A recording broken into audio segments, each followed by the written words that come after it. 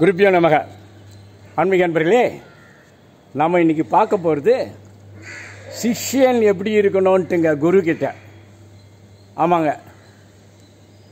யோகானந்தர்னு ஒரு குருங்க.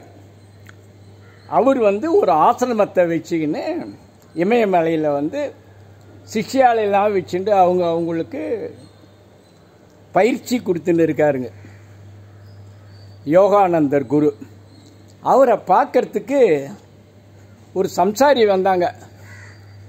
குருவே எனக்கு வந்து இந்த சம்சார பந்தத்திலேருந்து என்னை விடுவிச்சிரு. எனக்கு போதும்.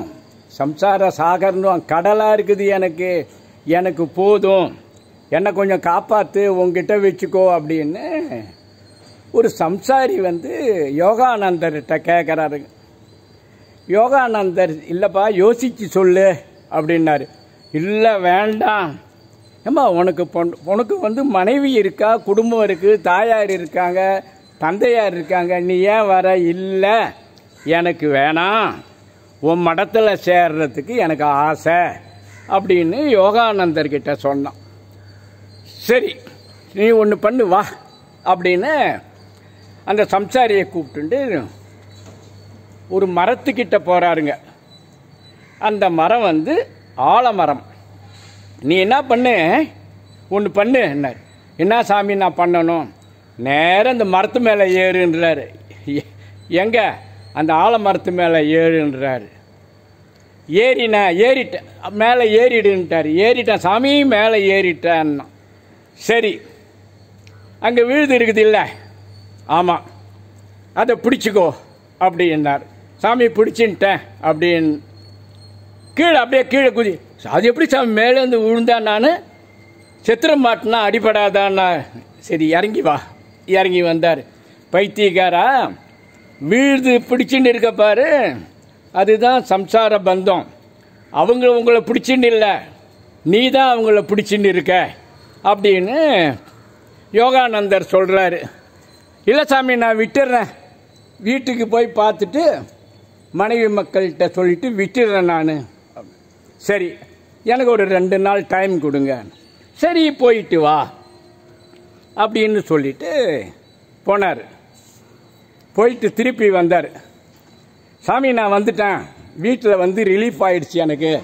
எந்த பிரச்சனையும் கிடையாதுன்னு. அப்படியா? சரி.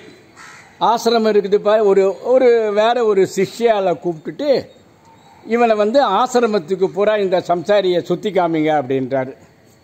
இவர் வந்து ஆசிரமத்தை பூரா சுற்றி பார்க்குறாருங்க குப்பை சப்பை அந்த எல்லாம் இருக்குது. ஒரு ஒரு சிஷ்யாலும் வந்து தொடப்பத்தை எடுத்து பெருக்கிறாங்க தண்ணி தழிக்கிறாங்க துணியை இது பண்ணுறாங்க துவைக்கிறாங்க. ரொம்ப கடுமையான பயிற்சி. முதல்ல வந்து குரு கிட்ட போகும்போது இந்த வேலையெல்லாம் சொல்லுவாங்க. சரி எல்லாரும் ஒத்துரு ஒத்துரு செய்கிறாங்க அதெல்லாம் பார்த்துக்கினே இருந்தார்.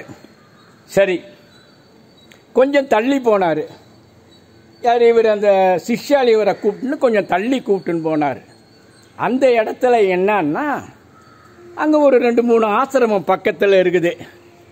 அந்த ஆசிரமத்தை பார்க்குறாரு இவர். அழகாக கிளி கொஞ்சுது.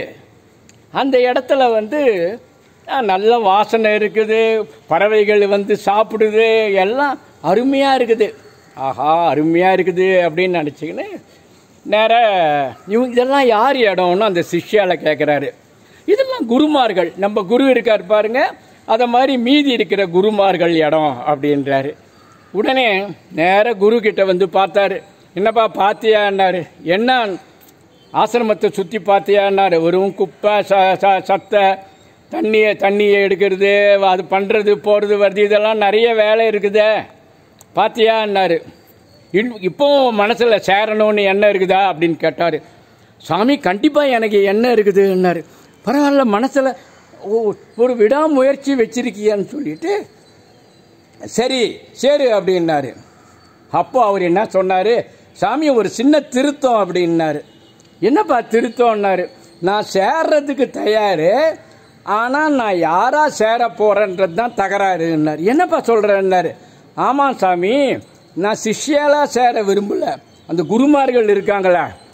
அவரை மாதிரி சேர போகிறோன்ன உடனே குருநாதர் வந்து வாயடிச்சு போய் நின்னார்.